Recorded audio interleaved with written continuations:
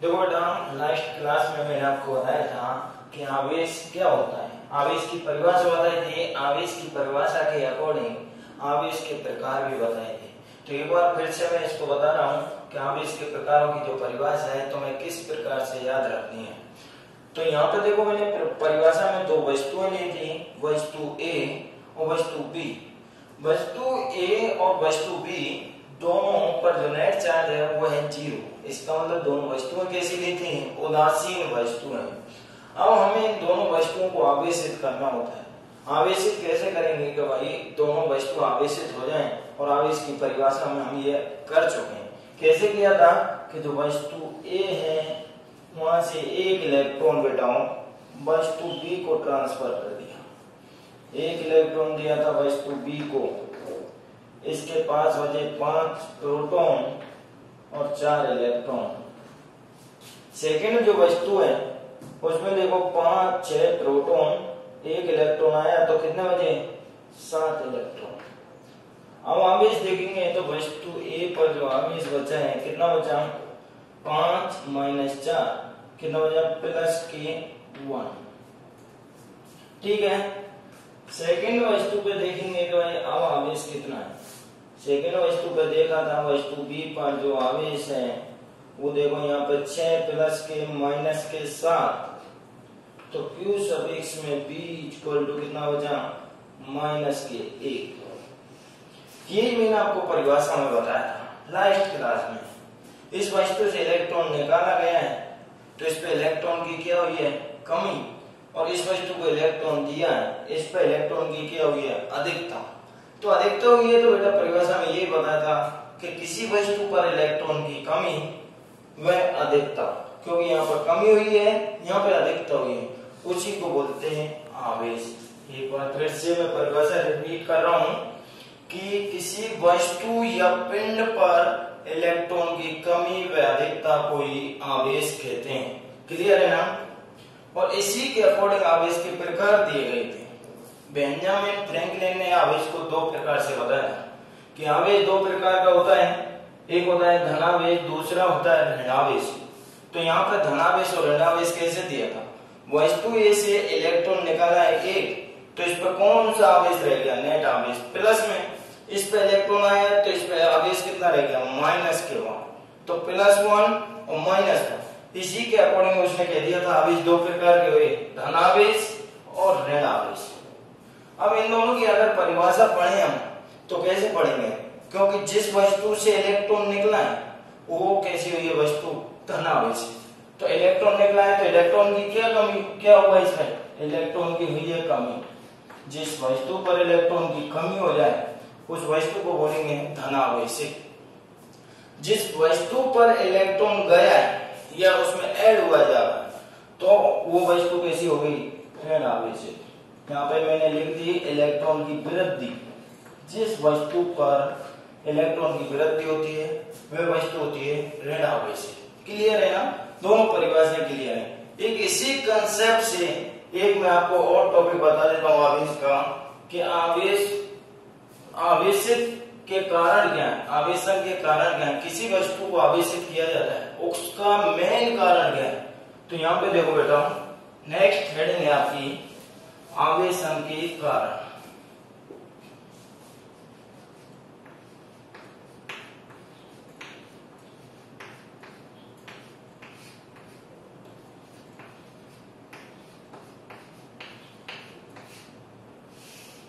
ये आवेशन के कारण कि भाई, वस्तु आवेशित कैसे हुई, इसका कारण क्या है? पहला कारण तो देखो, इसी कंसेप्ट से समझ में आ जाएगा तुम्हारे। कि वस्तु से इलेक्ट्रॉन ट्रांसफ़र नहीं किया है। जब तक वस्तु कोई सी भी आवेशित नहीं है, इस पे भी नेट आवेश ज़ीरो तो इस पे भी नेट आवेश ज़ीरो कोई भी आवेशित नहीं जैसे हमने इलेक्ट्रॉन ट्रांसफ़र किया, वैसे दोनों वस्तुओं पर कुछ ना कुछ चार्ज आ गया।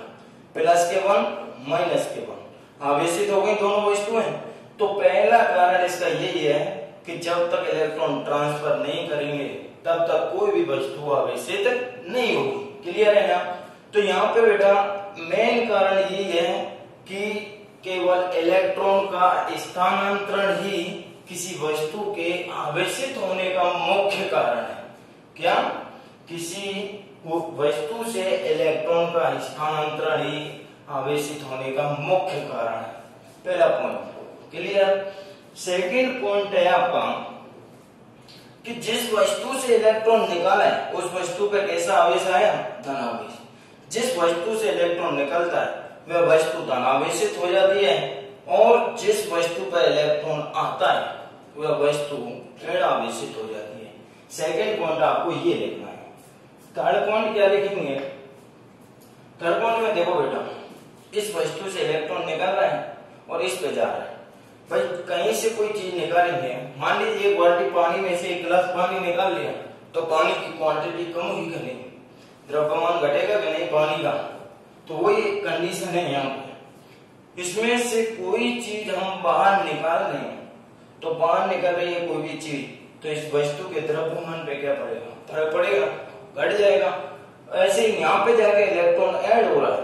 कुछ चीज़ जिसमें मिला दी तो उसका द्रव्यमान बढ़ जाता है। तो यहाँ पे देखो बेटा, इस वस्तु से इलेक्ट्रॉन निकला है, और इलेक्ट्रॉन निकला है तो इस वस्तु के द्रव्यमान में होगी कमी। और जिस वस्तु के में इलेक्ट्रॉन जा रहा है, या जिस वस्तु पर इलेक्ट्रॉन आता है, उसके द्रव्यमान में होती है वृद्धि।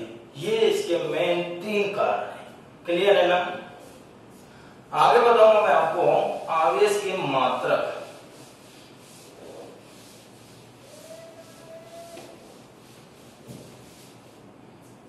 अगली हेडिंग है आवेश के मात्रक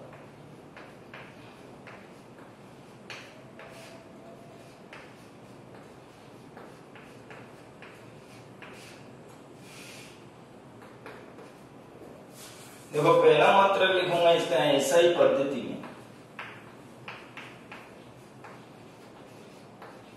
क्यों है ऐसा ही पद्धति में इसका मात्र क्या है?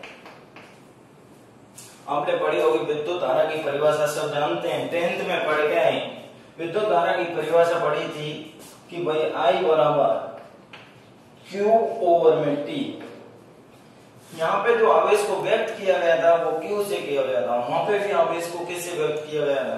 क्यू से? तो हमें मात्रक चाहिए किसका बेटा क्यू का? तो क्यू बराबर? आई इंटू में टी ये इससे आवेश का ऐसा ही मात्रक निकालेंगे। तो देखो बेटा आई का मात्रक करंट का सब जानते हैं। धारा का ऐसा ही मात्रक क्या होता है? एम्पियर समय का मात्रक भी सब जानते हैं, क्या होता है? सेकंड तो ऐसे ही पद्धति में इसका मात्रक हुआ एम्पियर गुणा में सेकंड जिसको एक और नाम से जाना जाता है, इसको और करके मैंने लिख दिया कूलाम. इसी को बोलते हैं कूलाम. क्लियर है ना? ये हुआ इसका ऐसा ही पद्धति में मात्रक क्लियर बेटा? आगे बढ़ेंगे इसका सीजीएस पद्धति में